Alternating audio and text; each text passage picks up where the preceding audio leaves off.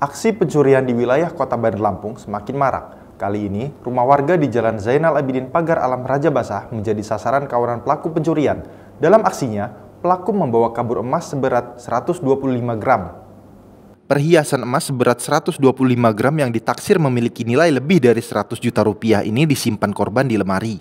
Apes, sang korban baru menyadari jika dirinya menjadi korban pencurian saat sedang bersih-bersih rumah. Korban terkejut ketika mengetahui kunci lemari rusak dan perhiasan emas telah raib dibawa pencuri. Artinya itu itu uh, sempat dirusak juga ya lemari itu, Pak ya? Udah ada jebol kuncinya. Dia dia udah jebol ya? Berarti dia rusak kayak oh, sejenis obeng gitu ya, ada dongkel gitu. Ngerti kalau masih. Oh gitu, tapi udah rusak ya?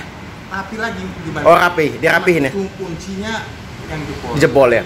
Berarti dia profesional betul kan? Bisa dengan ininya Jebol ya, Pak? Ah, jebol. Nah kalau untuk emas yang hilang itu berapa gram itu, Pak? Perkiraan, Pak? 125 gram. Peristiwa pencurian emas ratusan gram ini telah dilaporkan ke Polresta Bandar Lampung.